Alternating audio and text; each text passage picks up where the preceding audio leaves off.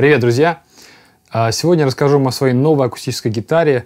И нет, это не она, конечно же. С этой гитарой я провел больше половины, нет, где-то половину своей жизни. Она для меня на самом деле очень много значит, э, поэтому я с ней, конечно же, никогда не буду прощаться, не буду ее выбрасывать, продавать никому. Но со временем эта гитара уже поизносилась, и играть на ней, ну вот, давать профессионально как-то какие-то концерты или записывать просто стало невозможно. Гриф повело, а, лады уже исчерпали себя, из, износились довольно сильно. Я понял, что мне нужен новый инструмент. Поэтому в прошлом видео, если вы его смотрели, я ходил в гитарный клуб и выбирал себе новую гитару и понял для себя очень много интересного. А, советую всем вам, каждому сходить в магазин и поиграть на гитарах самому, потому что ничто не может этот опыт заменить. То есть ни одно видео на ютубе. Но для чего я вообще записываю сегодняшнее видео? Я хочу вам показать, и благодаря вот нашему сетапу по звуку я вот тут поставил конденсаторный микрофон, э, также там стоит Zoom A6, который записывает комнату. Я хочу, чтобы вы вот максимально точно услышали, как звучат гитары и в чем их разница между собой. Почему одна гитара стоит около 100 тысяч рублей, а другая стоит 10 тысяч рублей. Переходим уже непосредственно к моей новой гитаре. А, а это для вас будет не, небольшой сюрприз, потому что я ее купил не в гитарном клубе, я ее купил на ревербе. На ревербе я начал мониторить разные гитары, смотреть э, какие-то варианты, потому что на ревербе очень часто выставляют музыкальные магазины э, гитары с небольшими скидками. И э, ну, для меня, как для человека, который не обладает там, бесконечным бюджетом, конечно, очень важно, сколько, сколько денег я отдам за гитару и останусь ли я потом вообще... с едой, хотел сказать. Когда я пришел в гитарный клуб, сразу же что во мне щелкнуло, то, что э, мне показалось, что вот дреднот, он прям мне очень хорошо подходит и по форме, и по звуку, и по всем его, в принципе, характеристикам, да, вот э, тактильным, мне он очень понравился. И мне конкретно понравилась модель Sigma SDM 18E.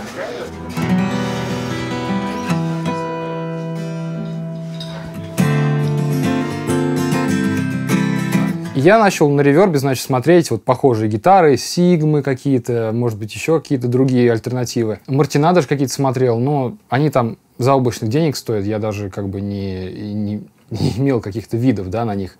А, но вот из сигм я увидел несколько, несколько интересных вариантов, там также продавались и SDR-28, это вот э, копия 28-го Мартина, который вот э, из у него э, дека и обечайки из палисандра, а верх из ситхинской ели. Но я играл, помню, в гитарном клубе на SDM 18 и у нее как раз-таки корпус обечайки из красного дерева. Поэтому я начал искать вот именно эту спецификацию. Короче говоря, я нашел на ревербе очень крутой дил по гитаре AMI. Что такое вообще AMI? AMI — это компания, которая владеет брендом Sigma. Раньше Sigma еще э, была дочеркой от Мартина, но потом э, ее перепродали AMI, и это немецкая компания. И, собственно, сейчас она им и принадлежит. По каким-то причинам, неведомым мне, я прочитал на официальном сайте, э, они не могут использовать бренд, не, не могут продавать гитары Sigma в Соединенных Штатах. Вот, поэтому они продают там гитары с лейблом AMI. Но по сути, конструктивно и по своим характеристикам эти гитары ничем не отличаются от Sigma я приобрел на ревербе в немецком магазине гитару AMI SD 180E. То есть это то же самое, что и Sigma SDM 18E. Наверное, нужно уже вам ее показать, уже, наверное, интересно, как она выглядит, что она из себя представляет.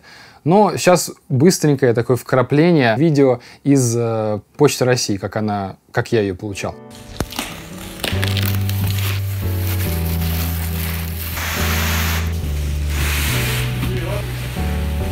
Я торжественно тебе вручаю этот нож.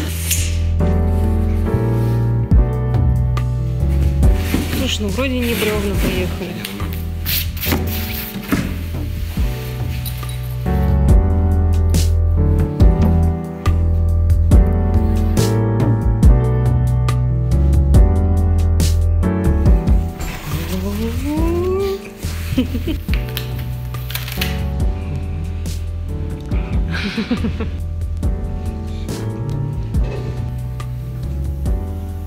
Сейчас я покажу вам крупные планы и расскажу про эту гитару в деталях.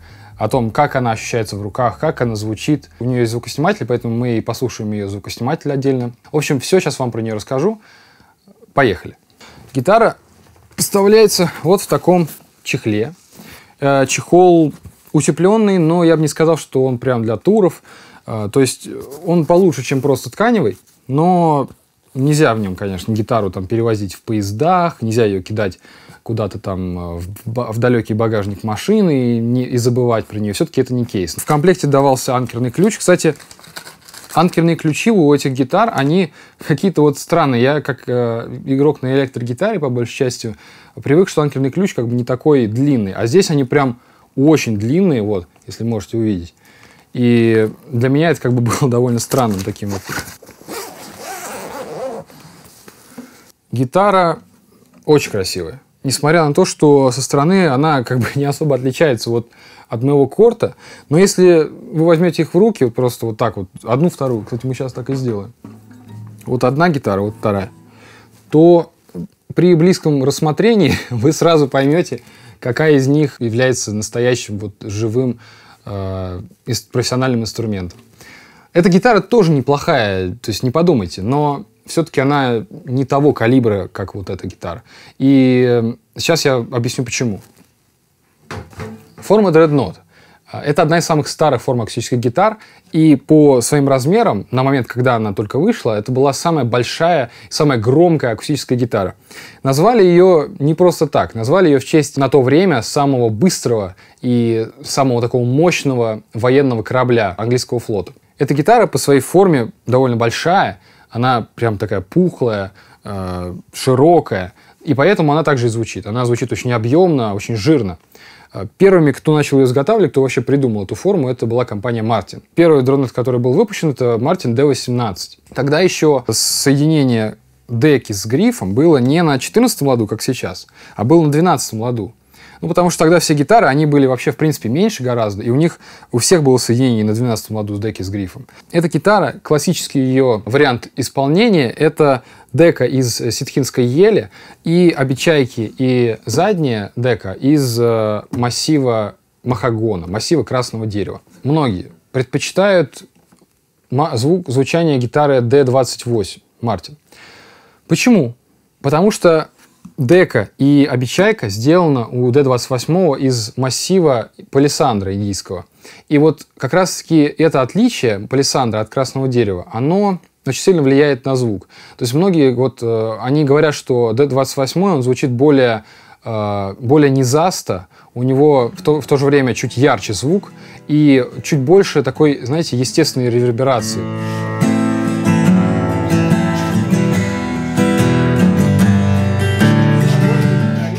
Для каких-то вещей это подходит больше, но э, в D18 вот в, в, в, вот в этой модели, в чем ее особенность? Она звучит чуть суше, чем D28.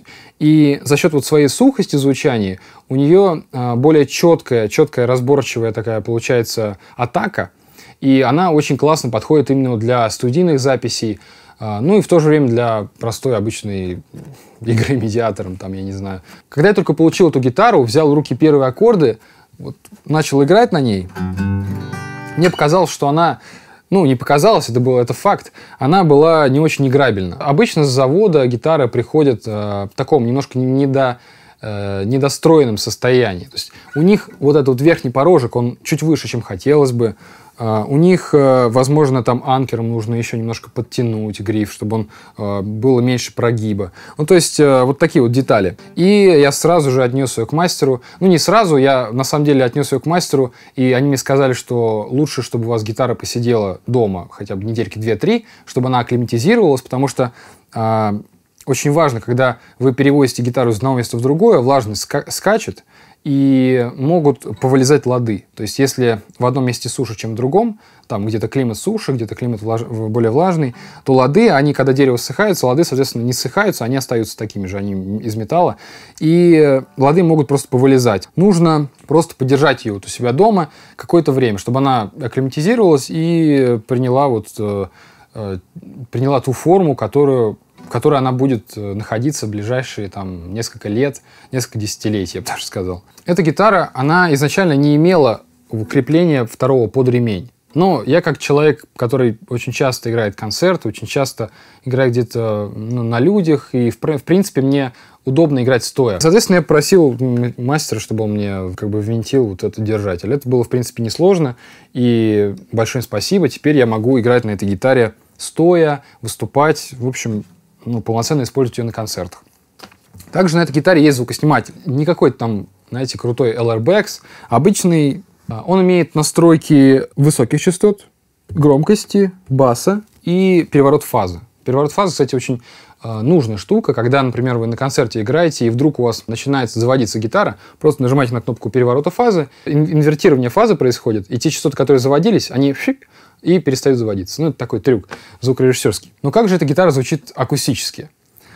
Она звучит очень приятно, она очень объемная. У нее хватает высоких частот, они довольно э, такие пробивные, то есть они хорошо прорезаются, но в то же время у нее густой такой вот и обволакивающий бас. Сыграю просто пару вещей, чтобы вы поняли, пару аккордов.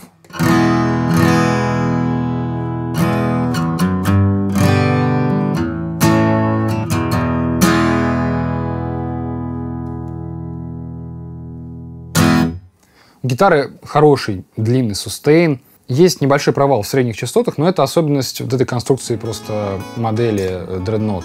Ничего, никуда от этого не денешься.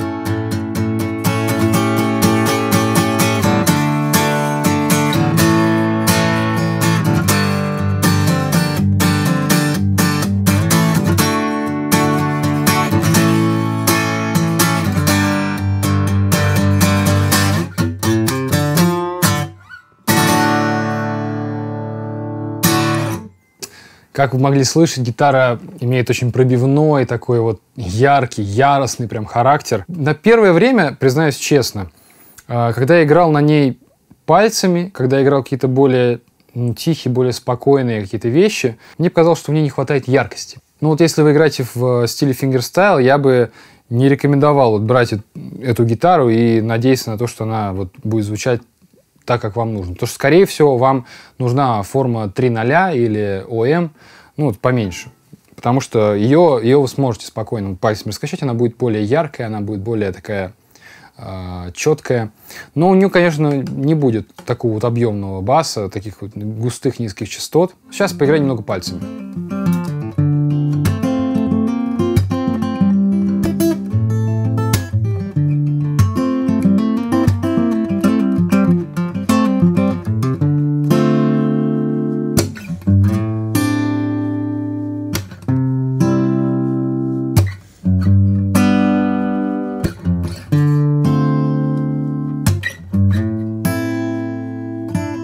Сыграйте то же самое на своем старом любимом корте и почувствуйте разницу.